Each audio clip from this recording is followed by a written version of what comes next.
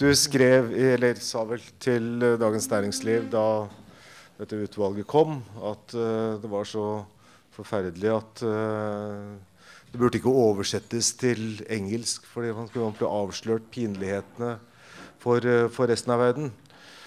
Um, hmm. For det første, hvor stort er problemet? Og hvilke fordeler har disse skatteparadisene?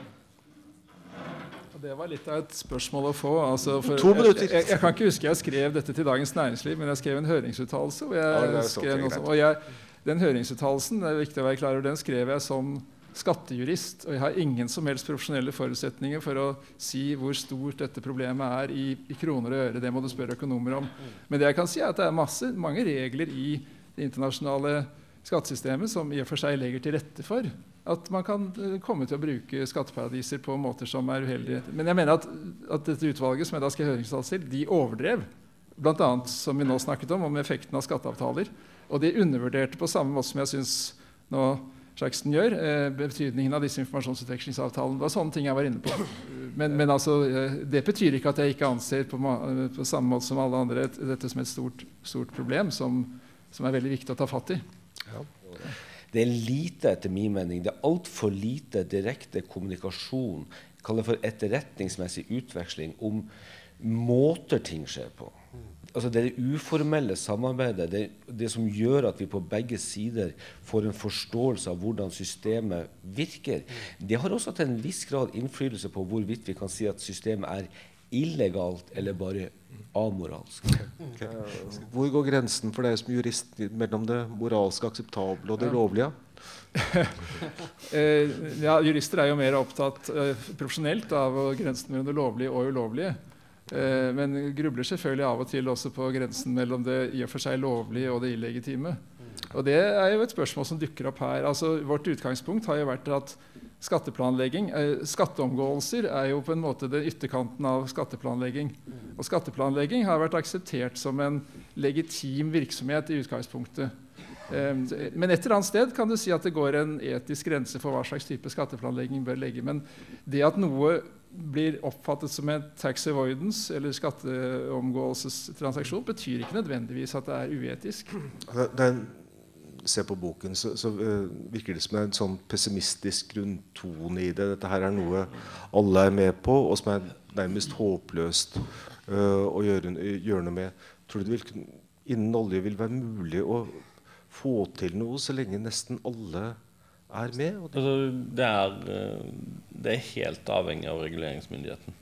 Altså det, det, også, det å tro at en kan, kan komme til livs uten reguleringsmyndigheten, det tror jeg, da tror jeg nok de fleste kan være pessimistiske. Men det fins måter å gjøre det på, og det fins måter å gjøre det på for hvert enkelt land. En er ikke avhengig av uh, enighet mellom mange land for å bli kvitt store deler av det. I det første spørsmålet mitt så var jeg inne på dette med derivater. Jeg har sett selskaper uh, som har flytta opp til ja, mellom 10 og 20% av bruttoinntekten sin ut av enkelte land i Afrika og inn i skatteparadiser. Uten at skatteadministrasjonen har vært i stand til å gjøre noe med det i det hele tatt. Uh, vi syns det er påfallende at uh, små selskaper hvor revisor virker som en moderator i forhold til skattesnusk, mm. de skal slippe. Mm. Mens de store selskapene hvor revisor virker nærmest som en pådriver for skattesnusk, de skal da fortsatt ha sine revisorer. Mm. Så på alle måter så har det, det, her, det har et veldig rart politisk fokus for tida. Og vi mener helt alvorlig at hvis ikke vi har en evne til å håndheve disse lovene, så har vi ikke bruk for disse lovene. Går det an å si noe om omfanget av dette? her? Hvor stort er det fra Norge? Det er et veldig vanskelig spørsmål å svare på.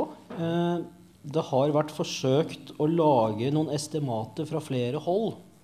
Det jeg vet sånn rent konkret eh, ut ifra mitt eget arbeid, det er at eh, kombinasjonen av skatteparadiser og internprisingsproblematikk går igjen ofte i de internasjonale selskapene. Og eh, det er jo derfor at vi fra etatens ståsted har fått en økt fokus og fått en økt satsing på temaet. Okay. Så i løpet på disse innsynsavtalene med som Finansdepartementet har, uh, har, jobbet med. Hvor, uh, hvor, effektive er de? Da vil jeg svare helt generelt i forhold til at vi har etaten og ikke minst andre lands skattemyndigheter, da tenker jeg kanskje på, særlig på Sverige og Danmark, har alle eh, TAI-avtaler. Eh, og av de jeg vet man har utprøvd i konkrete saker, så har man fått et forbausende samarbeid. Okay. I hvert fall sånn som jeg ser det, så er jo faktisk eh, de legale strømmene som Simmer var inne på, eh, de er jo et mye større problem enn de kriminelle strømmene, fordi de utgjør så vanvittig mye større beløp. Eh, nå var Shaxton inne på dette med transfer pricing, men jeg vil jo si det at f.eks. Eh, derivatbiten da, er jo mye større enn eh, en, eh, den overprisingen på transfer pricing. Og, og, hvis du ser på det, så, så er det jo ikke bare knytta til olje og gass. Det er hele extraction-industrien. Altså olje og gass, det er uh, gruvevirksomhet og så selve finansnæringen eh, totalt sett. Men bare for å si sånn Fokuset vårt er jo selvfølgelig på begge deler. Bare så Vi. Vi klarer å ha to tanker i hodet på en gang. Men noen av premissene for å få til mange av de store, tilsynelatende legale strømmene er illegale transaksjoner.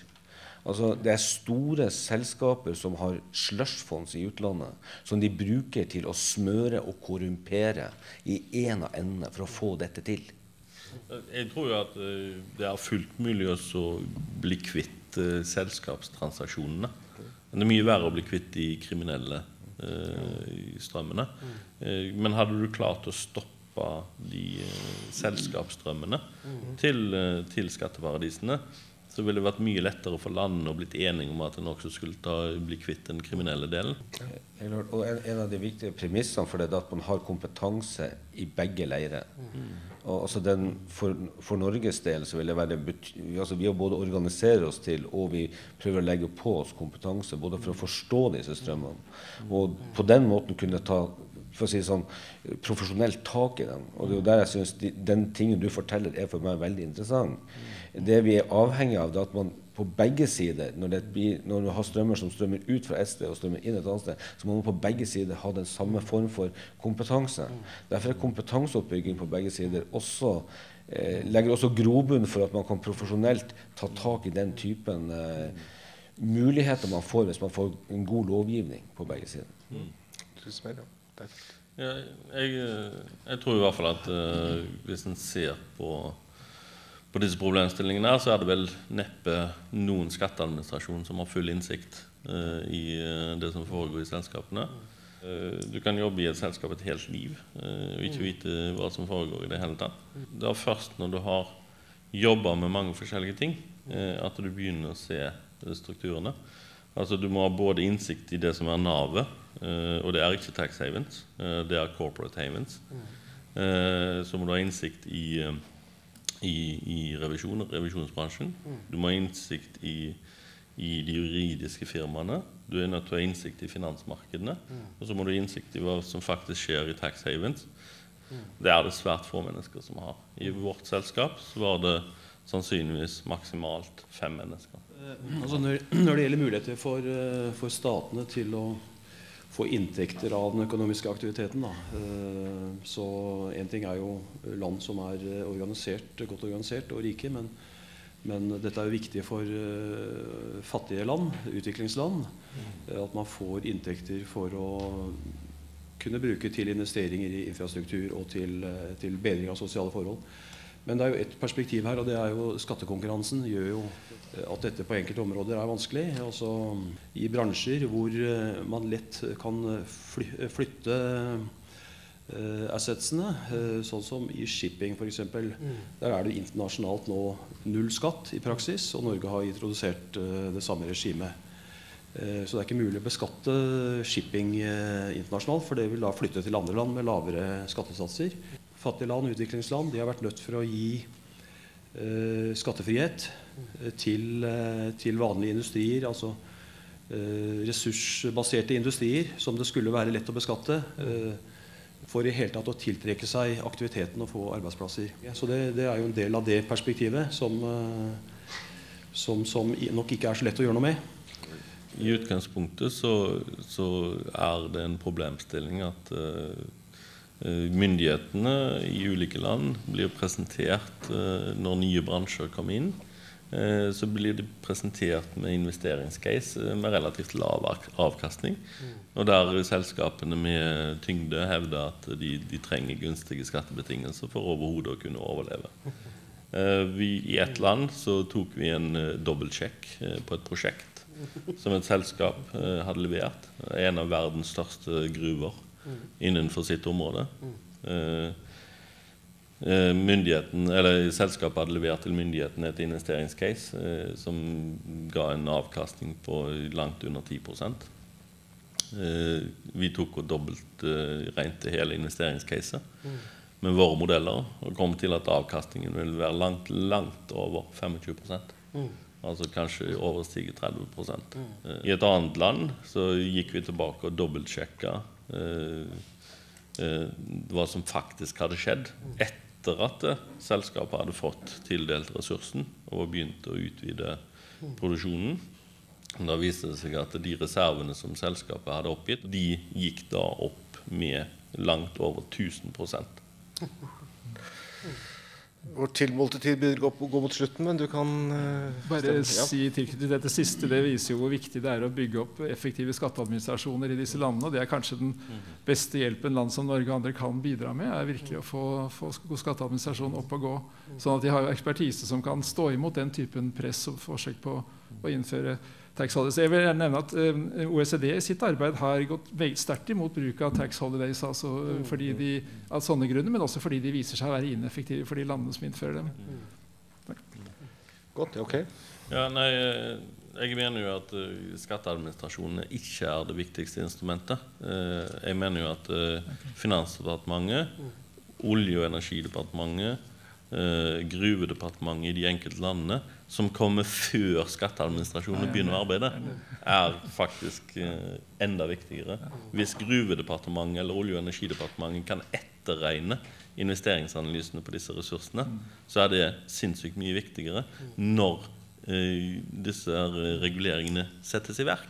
Skatteadministrasjonen kommer inn etterpå, og da er ofte skaden allerede skjedd. Ok, takk til slutt. Det har du helt rett i. Og vårt poeng er med lov skal land bygges. Men det er også slik at det blir den ikke håndheva av noen, så har den ingen effekt. Tror jeg bare For å avslutte med å anbefale å lese, folk å lese boken, hvis dere ikke har kjøpt den alle sammen, er eh, til å være om et tema som såpass, noe såpass utgangspunkt snorkende som skatt, så er den morsom. Den er skrevet for oss vanlige dødelige.